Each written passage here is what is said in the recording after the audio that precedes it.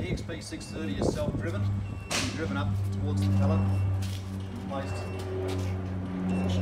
The EXP 630 has a fully adjustable control panel for all the different settings. With a touch panel for the speed for up and down on the film carriage. You have the speed of the actual machine around the pallet.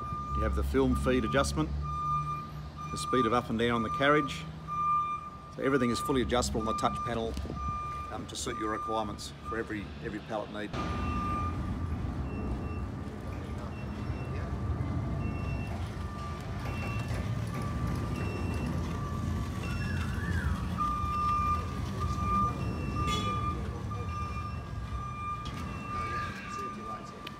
You'll see the machine has a red safety flashing light at the top just to let uh, people know that the machine is in operation.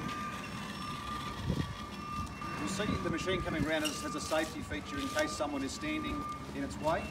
It immediately shuts off. You see the machine coming around now that has a guide wheel which follows the contour of the pallet.